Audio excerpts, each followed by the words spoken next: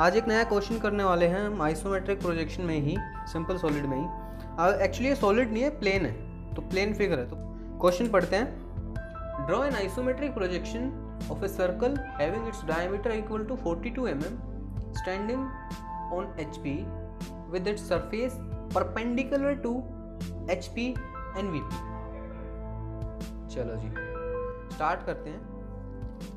अगर आपने मेरी पहले की कुछ वीडियो देखी है ना तो आपने, आपको पता होगा मैंने एक हॉरिजॉन्टल में मैंने बना रखा था। हॉरिजॉन्टल अब ये वर्टिकल है, ठीक है? तो एचपी के परपेंडिकुलर मतलब वर्टिकल है।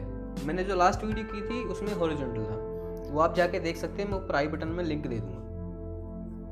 चलिए स्टार्ट करते हैं इसको। सबसे पहले हम कैसे स्टार्ट करेंगे? हमेशा, देखो इसकी कोई हेल्पिंग फिगर तो होगी नहीं, ठीक है? तो हम डायरेक्ट स्टार्ट बनाना स्टार्ट करते हैं।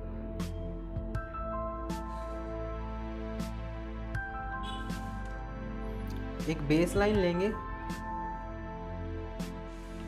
और उस पर कोई एक पॉइंट लेंगे और उस पॉइंट पे हम एंगल लगाएँगे। ये 90 और इस तरफ़ 30 इस 30 की हमें ज़रूरत नहीं है अब की बार। अब हम अपना स्केल उठाएँगे और इस पॉइंट से इन दोनों पॉइंट्स को मिला लेंगे सिंपली अब इसकी साइड है साइड है 42 तो 42 को आइसोमेट्रिक में लेंगे 0.8 से मल्टीप्लाई करके forty two minus eight point two तो टू पॉइंट बारह, चार, तीन थर्टी फोर पॉइंट टू आएगा। तो देखो आइसोमेट्रिक में थर्टी फोर पॉइंट टू आया ना? सत्रह दूनी चौथे सत्रह पॉइंट एक पे मिड पॉइंट आएगा। तो देखो, अब मैं इस लाइन के पैरेलल ड्राफ्टर सेट करूँगा और थर्टी फोर पॉइंट टू की लाइन लगाऊँगा। थर्टी फोर पॉइंट टू आप थर्टी फोर ही ले सकते हो, ज़्यादा कन्फ्यूज़ होने की ज़रूरत नहीं है, इतने में कोई फ़र्क नहीं पड़ेगा। थर्टी फोर आसान हो जाएगा ना थोड़ा। ये सेवनटीन पे मिड पॉइंट आ गया इसका। और ज़ीरो यहाँ। ठीक है? ऐसे ही इसकी जो वर्टिकल साइड है ना, ये ये जो वर्टिकल लाइन है, इस पे भी थर्टी फोर और सेवनटीन ये पॉइंट आ गए अब इस लाइन के पैरेलल इन पॉइंट से 34 की लाइन लगाऊँगा मैं। और यहाँ से एक्सिस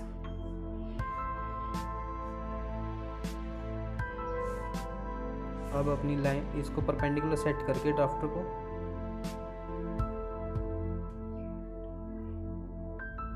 इन दोनों पॉइंट्स को इनको मिला देंगे ऐसे, और यहाँ से हमारा एक्सिस लग जाएगा।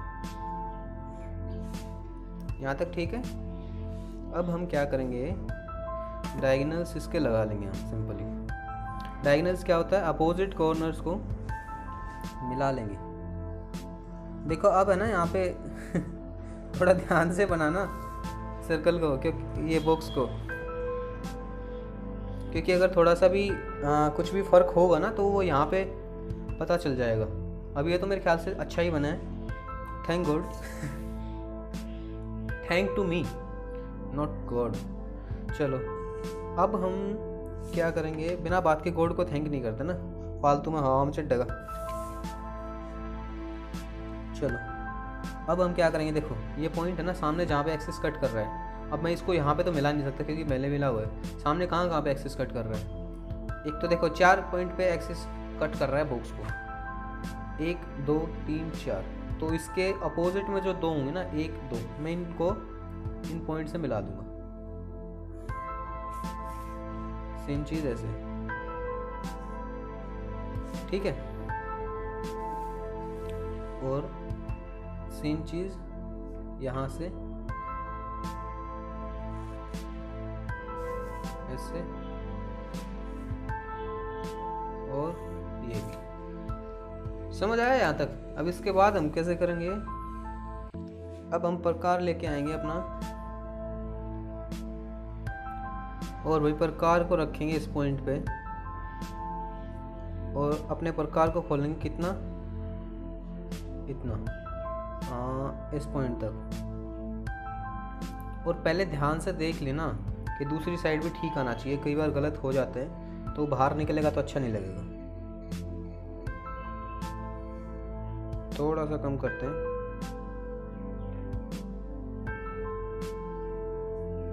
लो जी। सिर्फ़ यहाँ तक ये आर्क लगानी है बस। सिंपल। अब हम क्या करेंगे सेम चीज़ इस पॉइंट पर रखेंगे। और उसी तरीके से पहले अच्छे से जाँच करके कि हाँ ठीक तो है ना? इसमें थोड़ा फ़र्क है।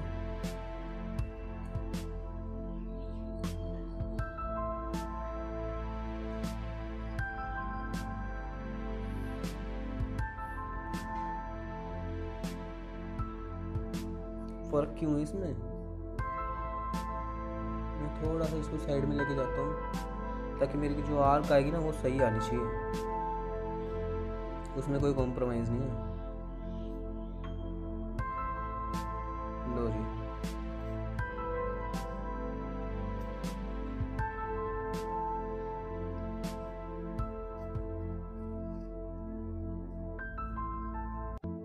मस्त मस्त बनी मस्त। इसके बाद मैं इस पॉइंट पे रखूँगा।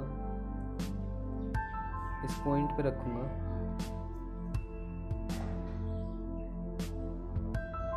इस पॉइंट पे रख के, और जहाँ तक ये आर्क आई हमारी, इसी पॉइंट पे रख के इतना खोल के मतलब और मैं फिर से चेक करूँगा, क्योंकि हर बार चेक करना इम्पोर्टेंट है।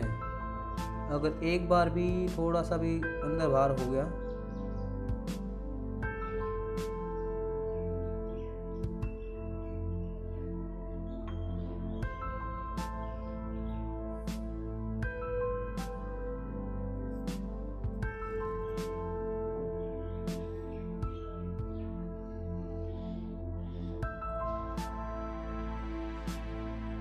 गाइस बाय द वे मेरे प्रकार की लंका लगी हुई है, पता नहीं क्यों, मेरे को नया लेना पड़ेगा।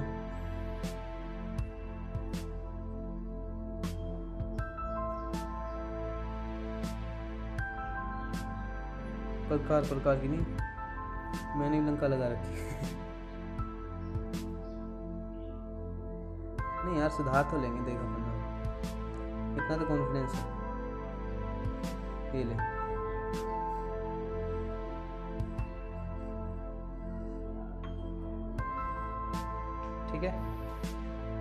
अब हम इसकी डायमेंशन कैसे दिखाते हैं, देखो। इस लाइन के पैरेलल ड्राफ्टर सेट करके, और मैं इस लाइन को आगे की तरफ़ बढ़ाऊँगा। ऐसे ही ये थोड़ा सा और आगे। और इस एक्सिस के पैरेलल वर्टिकल लाइन लगा लूँगा। और अपनी पेंसिल उठा करके बढ़िया से एरो लगा के उसकी डायमेंशन में लिख दूँगा। लास्ट स्क्वायर वाली वीडियो याद है? Square prism square pyramid square frustum pyramid का। उसमें हम कैसे दिखाते थे? बॉक्स बनाते थे डायमेंशन के सामने। अब इसमें कैसे करेंगे? इसमें फाइव लगाते हैं इसके आगे। और इसकी डायमेंशन थी फोर्टी टू तो हम लिखेंगे फाइव फोर्टी टू ठीक है? अब इसके नीचे इसका टाइटल लिखना होता है क्या? आइसोमेट्रिक प्रोजेक्शन लिखना तो है भाई। जो फिगर करी है तो लिखना भी है।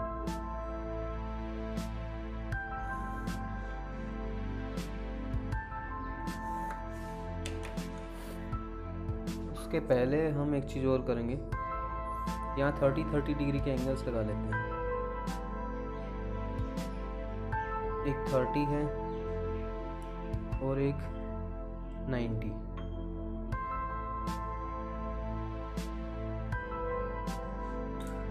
अच्छा मुझे एक बात बताओ, ये लग रहा है आपको कि इसकी जो रेडियस है वो ज़्यादा है इससे? मेरे को थोड़ा लग रहा है, पता नहीं क्यों, थोड़ा कुछ इल्यूजन टाइप का। है ना? आपको भी लग रहा है तो मुझे बताओ। क्योंकि देखो, है दोनों भी सेम ये भी और ये। सेम है। लेकिन लग रहा है कि इसकी कम है और इसकी ज़्यादा है। ये शायद इसके साइज़ से है। चलो छोड़ो, काम की बात करते हैं।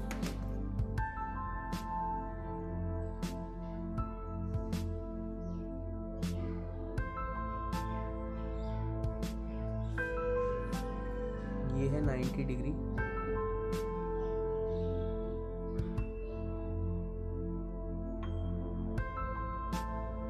ये है 30 डिग्री अब आ गया हमारा टाइटल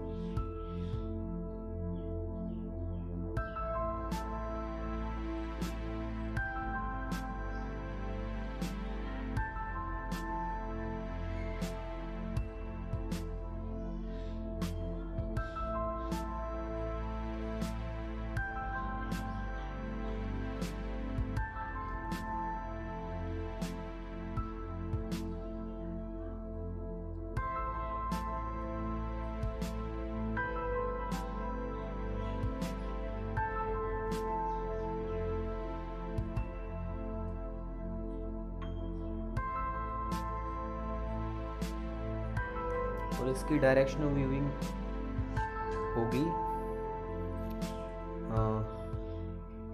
हमेशा की तरह इसी साइड में।